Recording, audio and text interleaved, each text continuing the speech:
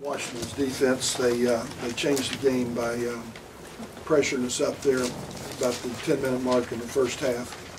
Really bothers. Uh, We were able to get our heads back up, start the second half, and uh, they picked their pressure back up again, and we, we really struggled with it. Um, So I credit their defense. Uh, They, they also took advantage of us on the boards, which they've done to most teams um, this year. They really uh, um, pounded us on the offensive glass. I thought, you know, we guarded their actions, but uh, they were able to go back and get second chance opportunities or second possessions, um, even on the free throw line. They got us with a big one with uh, Brockman late.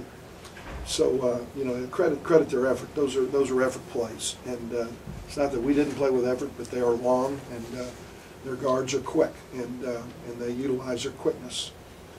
Um, You know, they're, had um, 22 baskets off of four assists.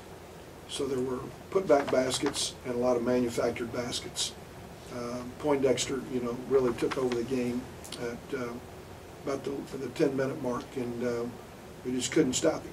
Could, could not stop him. He did a great job of uh, finishing plays for him. Um, You know, we were up two, 48, 46, and missed two free throws, and, uh, you know, would have given us a four-point advantage, and, um, you know, we, we um, didn't go back and stop on the other end. Literally, uh, I don't know what they shot the last seven or eight minutes, but uh, there weren't many missed baskets at all.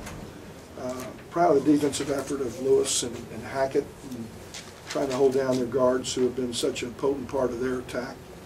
Uh, Thought we did a good job on Brockman as well. And, uh, you know, if you'd have told me going into the game that Thomas and Dentmon and uh, Brockman would have had the numbers that they had, in terms of points, I'd have, I'd have thought that uh, we were gonna win this game, but it didn't happen.